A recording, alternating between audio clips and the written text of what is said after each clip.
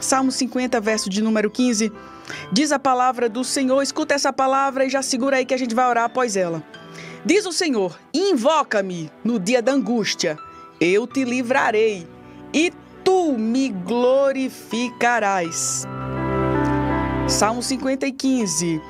Olha aqui um salmo, um salmo que mostra que as nossas dificuldades elas devem nos aproximar de Deus e não nos afastar.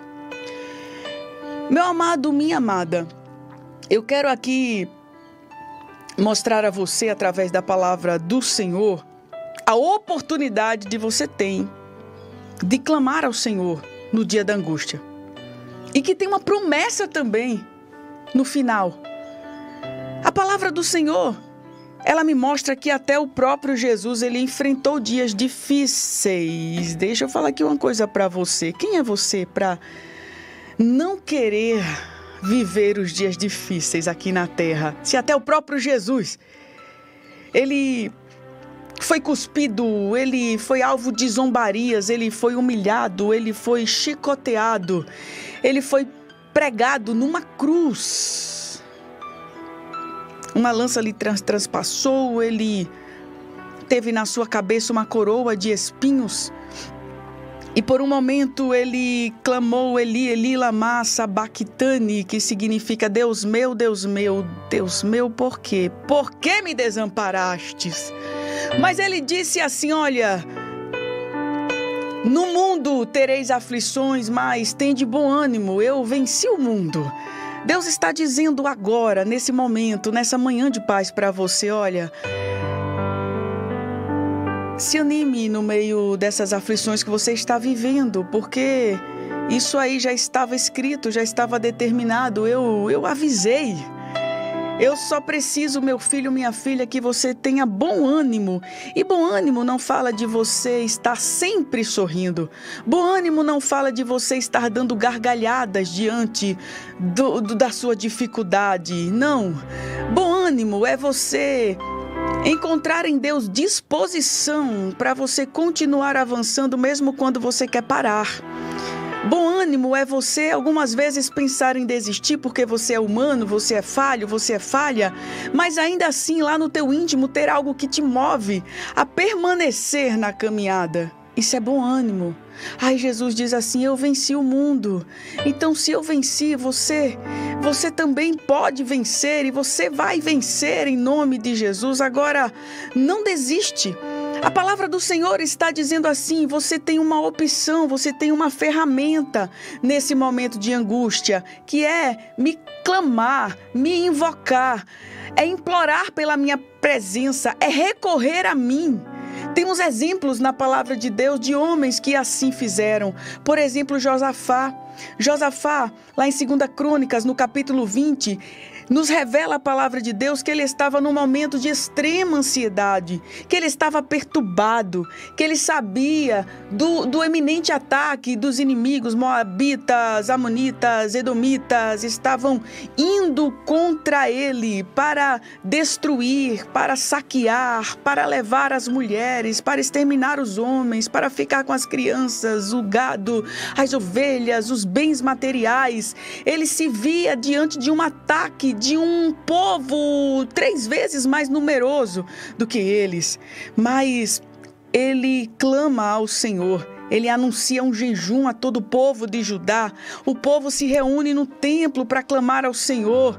Ali Deus usa Jaziel por meio de uma profecia e diz assim: Não tenha medo, nessa peleja não tereis que pelejar. Estai quieto, não tem mais, essa peleja não é vossa. Deixa eu falar uma coisa para você. Deus, nesse momento, ele te manda ter tranquilidade. Ele quer de você tranquilidade. Respira fundo aí. Saiba que você tem um dono que está atento à situação que você está vivendo. Saiba que o, o general de guerra é ele quem está dizendo para você. Talvez você se sinta incapaz de estar no meio dessa guerra. Talvez você se sinta totalmente despreparado, despreparada. Mas ele está dizendo: pode ficar tranquilo. Essa peleja não é vossa. No fim da história, eu vejo os exércitos lutando entre eles e Deus concedendo vitória a Josafá, ao seu povo, porque eles clamaram. E Deus ele fala: "Minha filha, meu filho, você tem a opção de clamar. Você também pode desistir, você também pode correr para longe da minha presença. Você também pode jogar tudo para cima e dizer eu vou parar agora. Sim, você tem essa opção. Você tem o livre-arbítrio, mas não é essa a oportunidade que eu te dei. Não, não foi para isso que eu te chamei. Não é isso que eu planejei para você. Filha amada do Senhor, eu quero te convidar, nós vamos clamar agora em oração. Nós vamos falar com Deus nesse momento. O nome de Jesus é poderoso. Recorra a Ele.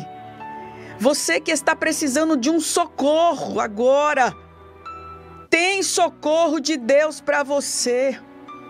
Você que se sente em alto mar, você olha para todos os lados e você não consegue enxergar oportunidade de salvação. Você olha para a direita, para a esquerda, para cima, para baixo, para todos os lados e aí está você boiando em alto mar.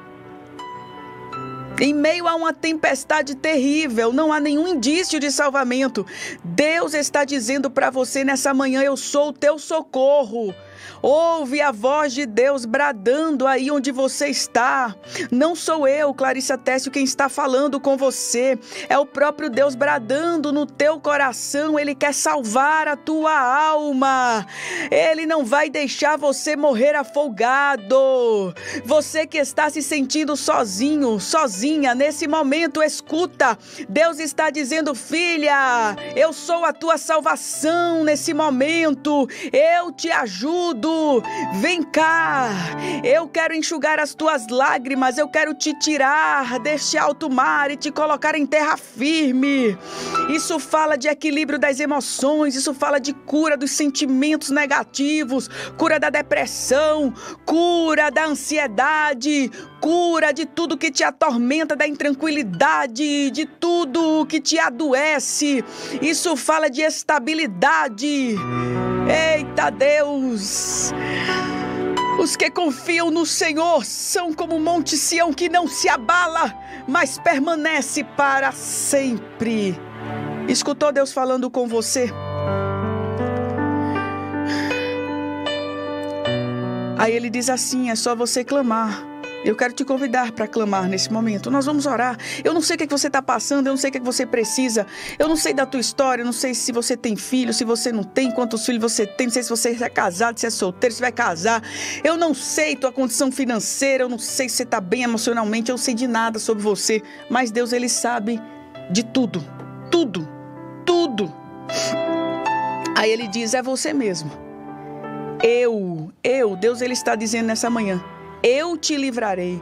Não é teu marido que vai te livrar, não é teu patrão, não é tua esposa, não é o político, não é o presidente do Brasil, não é o, govern não, não é o governador do teu estado, não é teu prefeito. Quem vai te livrar não é o teu pastor, não é a tua dirigente de oração, não é teu menino. Não, não. Quem vai te livrar não é a tua conta bancária, não é o teu carro, não é nada disso que vai te livrar. Você está procurando livramento, você está procurando salvação nas coisas daqui, você está esperando uma boa notícia de alguém achando que é o teu livramento. Não, Deus está dizendo, sou eu. Deus nessa manhã está batendo no peito, dizendo assim para você, filha, atenda, entenda, sou eu que vou te livrar. Para de te preocupar com o que as pessoas estão falando, com o que há de vir, com a ligação, com o telefone que não tocou, com a notícia boa que não chegou, porque quem vai te dar livramento, a tua salvação sou eu, apenas clama a mim. O salmista, certa vez, ele diz assim: Busquei ao Senhor, e ele me respondeu e livrou-me de todos os meus temores. Lá no verso de número 6 do Salmo 34, ele diz de uma maneira muito linda: Clamou este pobre ao Senhor, e o Senhor o ouviu e o salvou de todas as suas angústias.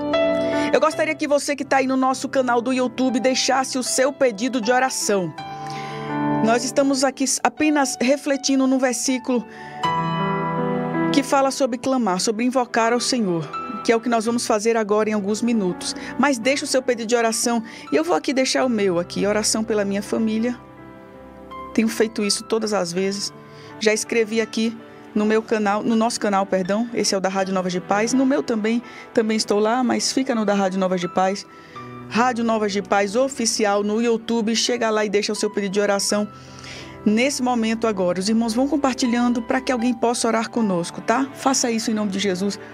Leve uma oração para alguém que precisa. Clamou este pobre e o Senhor o ouviu.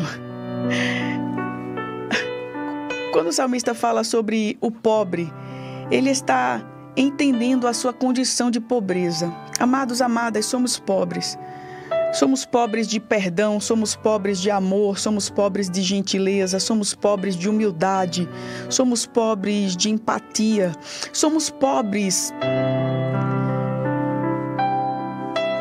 de tudo que, que nós precisamos para termos bons relacionamentos, para nos aproximarmos de Deus.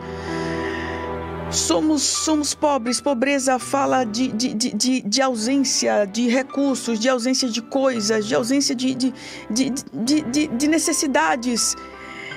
Ah, e esse pobre sou eu, esse pobre é você, essa pobre. Mas quando nós clamamos, a palavra de Deus diz que Ele nos ouve. Então hoje, agora, essa pobre aqui, Clarissa Tessio, esse pobre que é você, essa pobre que é você, minha amada, vai clamar. E a palavra de Deus está dizendo aqui que Deus, Ele nos ouve. E nos livra de todas as nossas angústias. Será que foi uma palavra que te angustiou nessa manhã?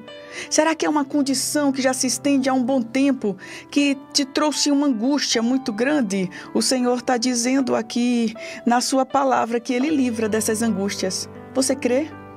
Você crê que esse livramento ele é muito maior e muito mais forte, mais poderoso do que o bem-estar que o remédio que você toma te traz? Você crê que esse livramento dessa angústia, ele vai muito além do que você imagina? Glória a Deus. O nosso socorro está no nome do Senhor. E aí no final, para a gente orar, a palavra de Deus nos diz: E tu me glorificarás. Deixa eu reprisar aqui, refletir, relembrar com você. A palavra de Deus diz: Invoca-me no dia da angústia. É clamar ao Senhor. No dia de angústia, no dia de sofrimento, no dia que a gente está agoniado, perturbado, no dia que a gente sabe que mais do que nunca a gente precisa da graça de Deus.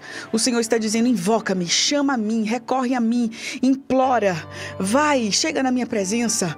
Pois bem, é o que nós vamos fazer agora. Aí ele diz assim: eu, eu, eu. Ele bate no peito. Isso aqui eu estou usando é uma linguagem humana. Como a gente faz? Sou eu que vou fazer para você. Deus está dizendo: sim, sou eu que vou te livrar, eu te livrarei. Aí ele diz assim: e tu? para finalizar, me glorificarás. Sabe o que é isso? É o Senhor dizendo assim: olha, meu filho, minha filha, eu vou fazer algo e o meu nome será glorificado. Diga amém. Amém. Eu vou fazer e você vai me glorificar. Você vai me glorificar porque Ele é digno de receber toda a honra, toda a glória, todo o louvor. Tudo que você faz, tudo que você tem de bom, é Ele quem te deu, é Ele quem faz para você. Ei, você vai glorificar muito ainda pelo que Deus vai fazer.